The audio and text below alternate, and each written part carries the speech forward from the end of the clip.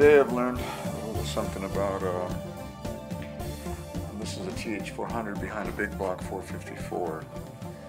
And according to this, this is a technical bulletin from Engine Builders Association.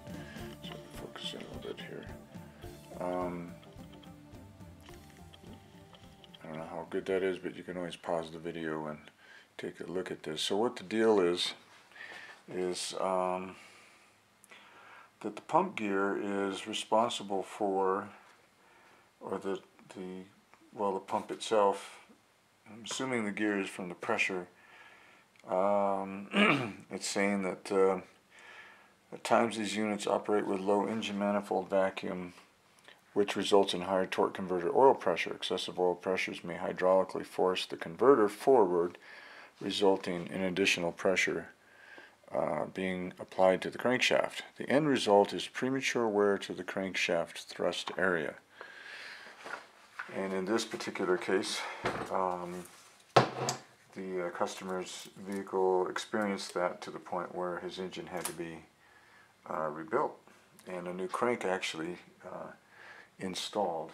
So what we're going to do is the modification that they uh, have supplied to correct this problem seems to be primarily in some of the bigger engines of the time. Uh, 70, the report 727s in Mopar uh, to have had this problem.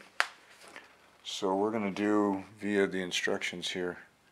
Um, we're going to kind of do this little update to the pump that supposedly bypasses this pressure, kind of like a pressure relief uh, so to sort of actually um, but we'll check it out. We'll, we'll get it we'll try and get it done.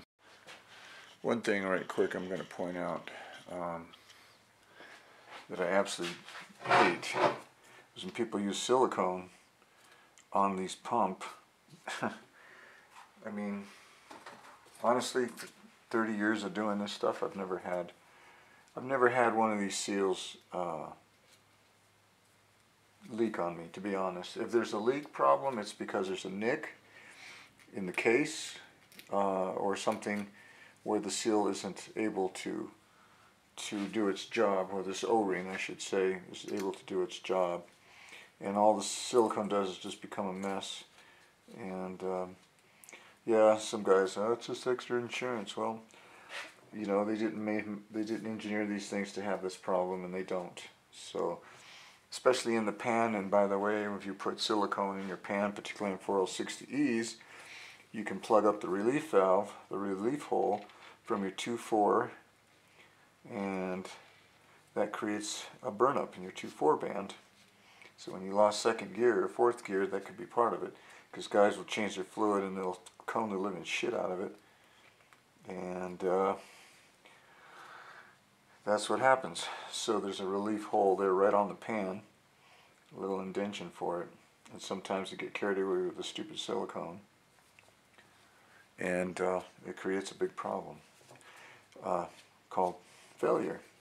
So anyway, this is a stupid idea. I don't like when people do this um, because it's, it's, unnecessary, honestly. And uh, best thing to do is check and make sure that the surface of the where it really gets nicked is there on the case. It's aluminum. This isn't going to nick very, very much because it's steel. But the aluminum sure as hell will, and it has. When someone's using a screwdriver or usually. So I'm not real sure. I just, again, uh, that's where you want to check to make sure your O-ring can seal properly. Otherwise, they don't leak. They won't leak. So anyway, that's that's on that. I'm going to go ahead and tear it down at this point.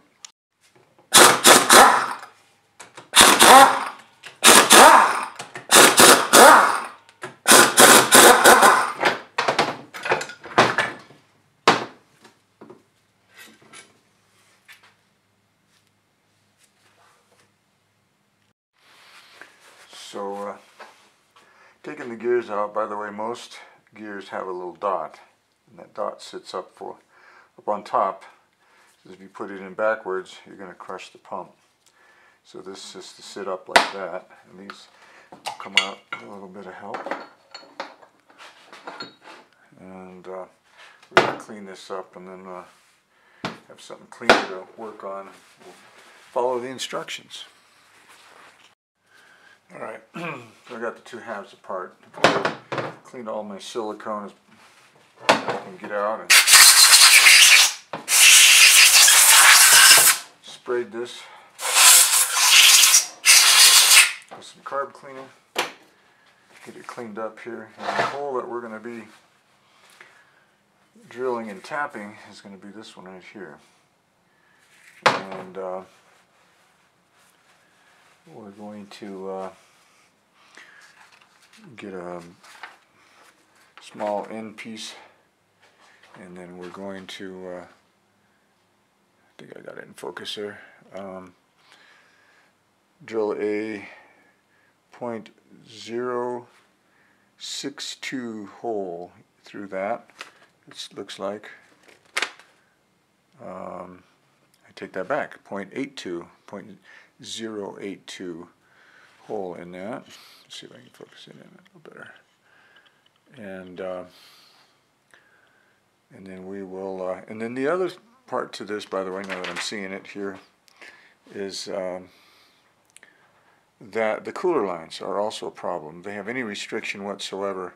This also creates a problem, and uh, so they're uh, saying to have a one-way valve here, but really um, talking with engine builders who've had this problem, they say to really just go to a little bigger line and or to really make sure there's no restriction on the lines, the cooler lines. Um, so that's part of the, the, issue it says here. Um, and I'll read some of this other stuff in relation to this. Um, I'm going to read these, this top part here. The pump gears must be in perfect condition. Side clearance of pump Gear should not exceed 0.002. The pump cover must also be flat with no gear wear on it. This is an important step to guard against the possibility of delayed engagement due to the installation of the orifice.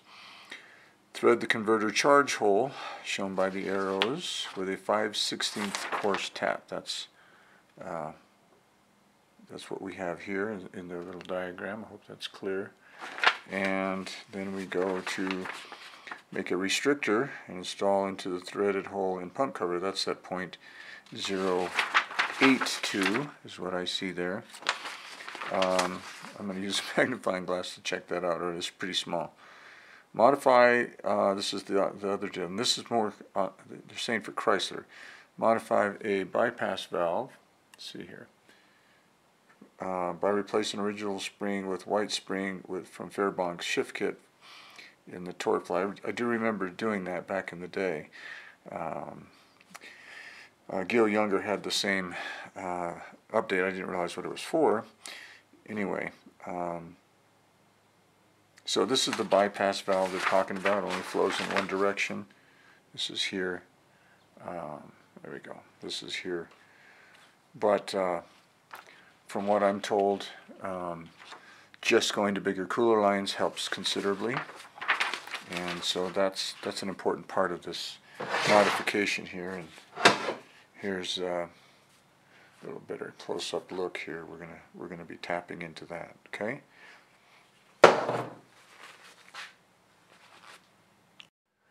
Well, since that writing was so teeny tiny, I had to get this uh, magnifying glass out and that is a point 082 hole in the center of that and I probably will have to go to the hardware store and uh, and pick up a, uh, a coarse uh, tap uh, actually not tap uh, a thread I probably could cut off a screw for that matter threaded bolt for that matter but uh, I probably will just get the little plug type that's available at the hardware store. Alright, a little quick change of plan here.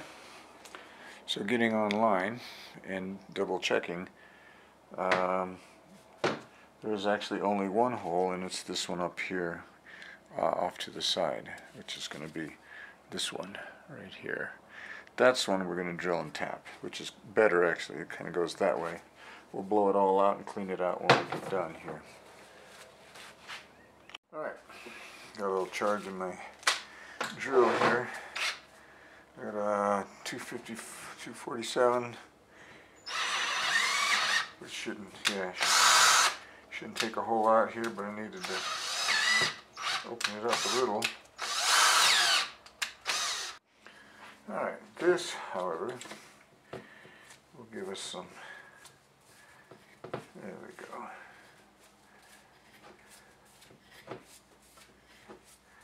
That might have happened. That have been too close. Alright.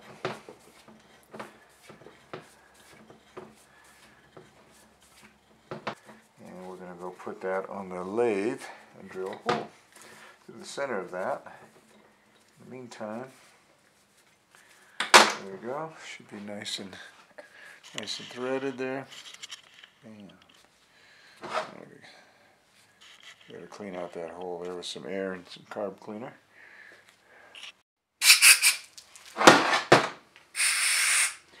Can see where the air comes out of here. And that's going to be, of course, right coming off the bottom of the pump where the uh, converter is. So that takes care of that little problem, I hope. That makes sense anyway.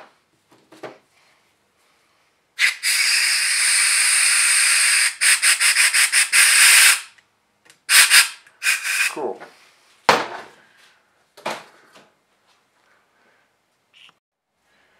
Alright, so we're going to use a, uh, a threaded plug here that I'm going to put a hole in and since this is already kind of piloted for me I'm going to use this end and we're going to not get too crazy putting this in here. Alright, so we got our drill bit here. We'll, uh, since I have a pilot hole already, thanks to the machining of that in the first place, we are going to be able to we'll be able to just drill it right through. There we go. We got it straight now.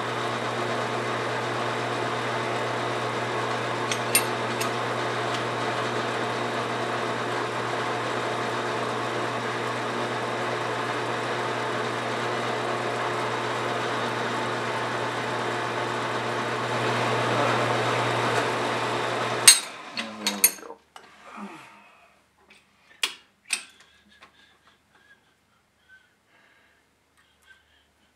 Of course. Alright, for final here, we're just going to put a little blue Loctite on this thing. Since everything's nice and dry in there, hopefully it'll it'll stay.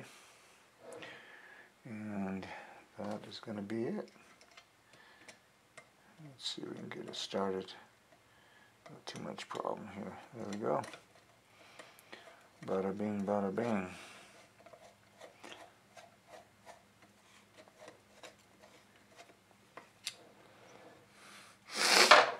There we go.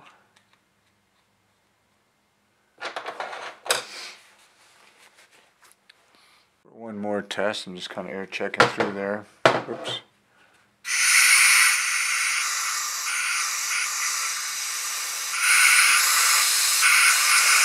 Cool. There we go. I wanted right quick to show the uh, bulletin, uh, AERA bulletin numbers TB229, TB284, and TB336. And uh, that will all be here. On, this one is actually TB415, crankshaft thrust bearing failures. You can look that up. So lastly, I'm putting this back together.